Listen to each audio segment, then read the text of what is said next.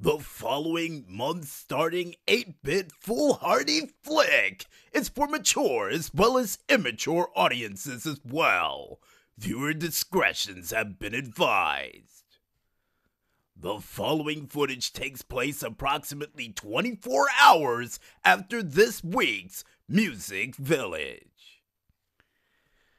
Ah, man. Maestro, I completely forgot during all the excitement for that week's episode of Music Village, we forgot to mention the birthdays we were going to give a shout out to. So, to a very special happy birthday to my Uncle Denny, my cousin Jerry, and especially to a big wrestling fan that goes by the name of the bad guy JX Harris. Happy birthday to each and every last one of you, and many more down the road. And speaking of wrestling, this weekend is WrestleMania. And you know, we've done some incredible things over the past six years, reviewing well over seven WrestleManias, maybe even more.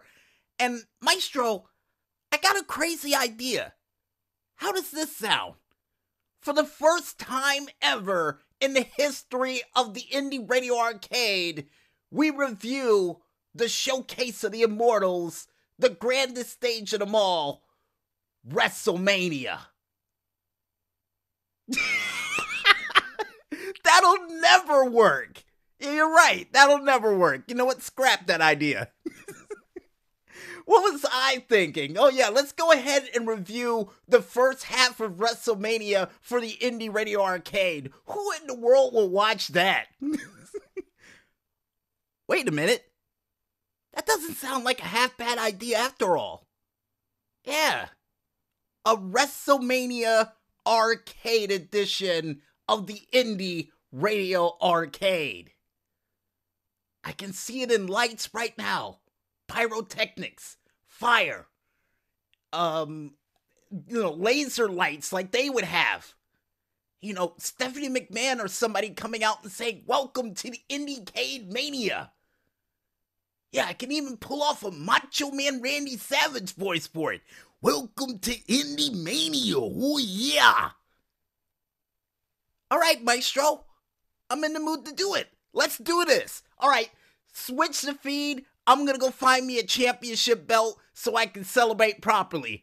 Oh, yeah. Ooh, ladies and gentlemen, boys and girls, children of all ages, live from Morristown, New Jersey, it is the level 102 edition of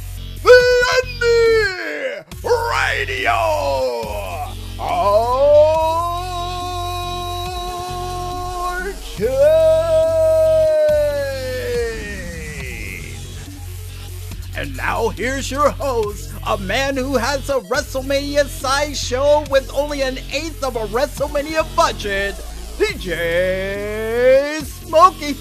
Hey, we would have had the budget if it hadn't been for that dancing disco clown.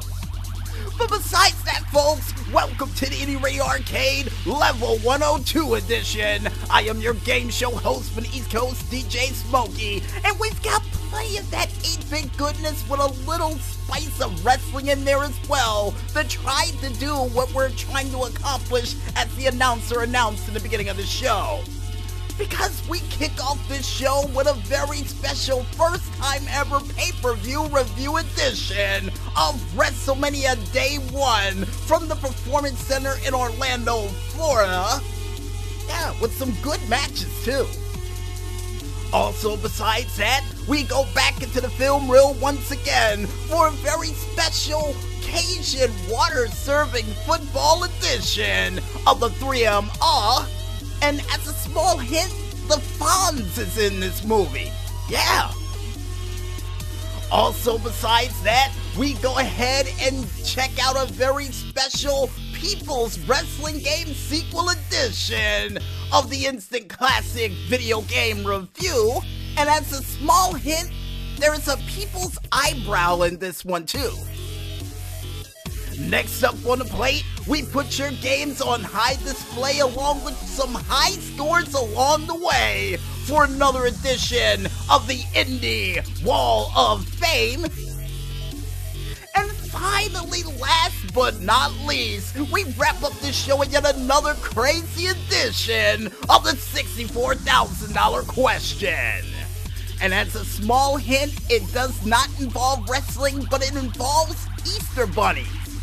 If you think we can turn that into something crazy, you haven't been watching this show for long, haven't you? And I guess with the maestro rolling in the machines, I might as well tell everybody at home to get out their pennies, quarters, nickels, dimes, Albanian money, or whatever sort of coins you would use during a WrestleMania event that themed after pirates to get ready to play a very special 8-bit wrestling edition of Indy Radio oh.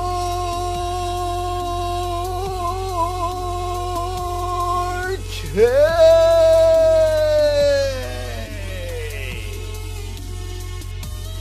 It's time to play the game, kids.